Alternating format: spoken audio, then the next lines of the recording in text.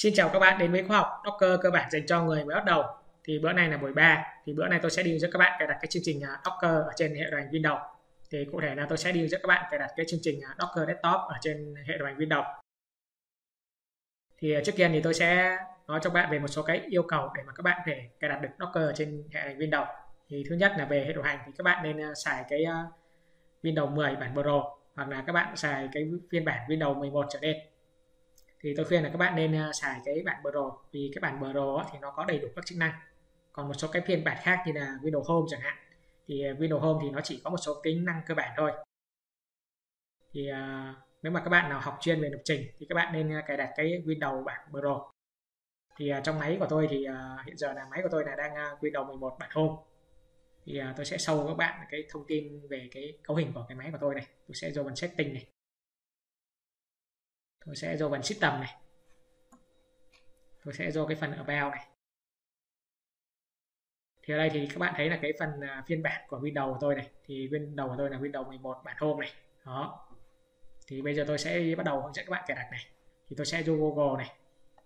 Tôi sẽ search uh, install uh, Docker desktop Windows đó, thì các bạn là do cái link à, đầu tiên ở trên cái à, kết quả tìm kiếm ở đây này.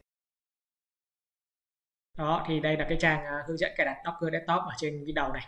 Ngoài ra thì nếu mà các bạn muốn cài đặt cái Docker này ở trên các hệ điều hành khác trên Mac này, thì ở đây nó có cái phần install on Mac này, thì các bạn click cho cái link này để xem này.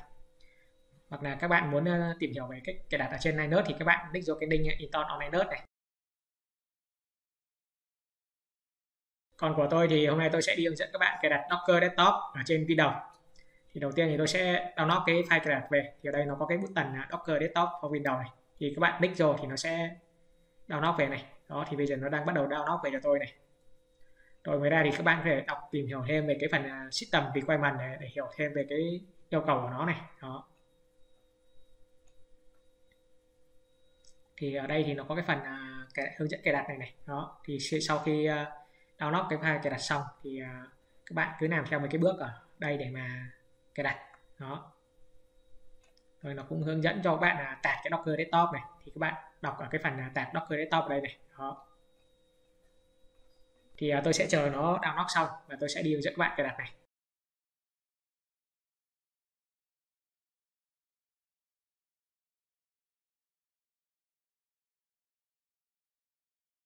Rồi nó đã download xong này thì bây giờ tôi sẽ ờ, vô cái folder download này. Đó thì nó đã download về cho tôi như vậy này. Đó thì uh, bây giờ tôi sẽ mở cái uh, đầu tiên thì tôi sẽ mở cái uh, command run lên hoặc là cái uh, terminal. Thì uh, nếu mà máy của bạn có cái chương trình terminal thì các bạn mở lên.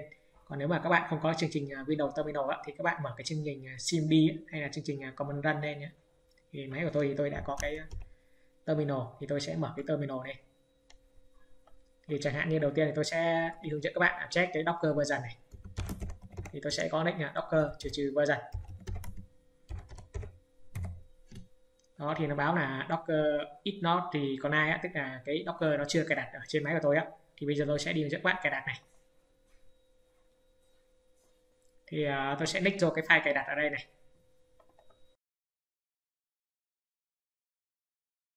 Rồi tiếp theo thì nó sẽ sâu lên một cái hộp thoại thì các bạn click Z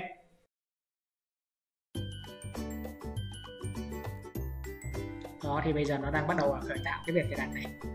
Rồi theo thì ở cái phần à, configuration ấy, thì các bạn à, tích vô cái tùy chọn là headshot group to desktop thì nó sâu lên một cái hình icon của cái docker này ở trên desktop. Rồi theo tôi tích cho ok này.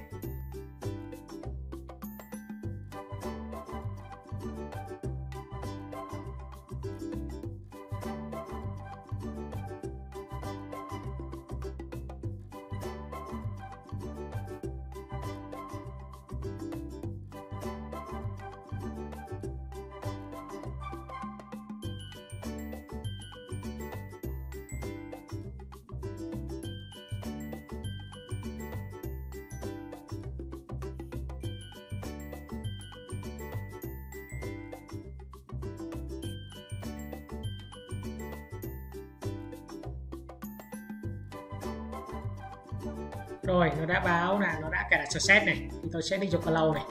Tiếp theo tôi sẽ vô đầu, tôi sẽ check ở trên đầu này. Thì ở trên Windows thì tôi bây giờ tôi có một cái uh, biểu tượng là Docker Desktop này này. Tôi sẽ mở cái Docker Desktop này lên này. Đó thì uh, khi mà mở lên thì nó sẽ có cái giao diện như vậy. Và nó yêu cầu chúng ta cần phải uh, chấp thuận một số cái điều khoản của nó thì tôi sẽ định vào offset rồi tiếp theo thì nó yêu cầu các bạn phải uh, đăng ký hoặc đăng nhập một cái tài khoản nào đó. Thì cái phần này thì uh, tạm thời thì chúng ta không quan tâm. Thì uh, tôi sẽ nick vô cái link uh, continue without sign in này này. Rồi theo thì nó có yêu cầu uh, các bạn là làm một số cái khảo sát. Tuy nhiên thì tôi sẽ keep luôn. Thì tôi sẽ nick cho keep survey. Đó thì đây là cái chương trình giao diện của cái chương trình Docker Desktop này này. Thì ở đây thì các bạn có thể có xem được rất là nhiều cái tùy chọn khác nhau thứ nhất là cái tab à, về container này. Thì à, hiện giờ thì nó chưa có cái container nào này. Rồi cái tab về email này. Hiện giờ cũng chưa có cái email nào. Thì ở các buổi tiếp theo tôi sẽ đi hướng dẫn các bạn build à, các email này, rồi chạy các container vân vân. Đó. Đó, thì như vậy hôm nay tôi đã hướng dẫn các bạn cài đặt xong cái chương trình Docker Desktop ở trên Windows. Thì nếu mà các bạn nào muốn tìm hiểu thêm và học về Docker thì ở trên ờ, YouTube kênh YouTube ờ, học lập trình online của tôi. Thì tôi có một cái ờ, playlist một cái phần danh sách phát uh, Docker cơ bản. Thì các bạn thể truy cập vô cái channel học lập trình online và các bạn uh, xem cái playlist này thì học về Docker cơ bản. Còn ngoài ra thì uh, tôi còn có một cái khóa học uh, nâng cao về sử dụng Docker và AWS cho Java developer. Thì nếu mà các bạn nào muốn tìm hiểu về cái khóa học nâng cao này, thì các bạn thể do Udemy này. Và ở trên cái ô tìm kiếm này thì các bạn thể search là Mẫn Nguyễn ở đây. Thì à, ở đây thì à, tôi có một cái khóa học gọi là khóa học à, Docker và AWS for Java Developer. Thì đây là một cái khóa học nâng cao. Thì nếu mà các bạn nào thấy cái khóa học này phù hợp với lại cái nhu cầu của các bạn, thì các bạn thể đăng ký và tham gia vào cái khóa học này của tôi. Đó, thì hôm nay tôi xin tạm dừng cái video dẫn của tôi tại đây hẹn gặp lại các bạn ở các video theo.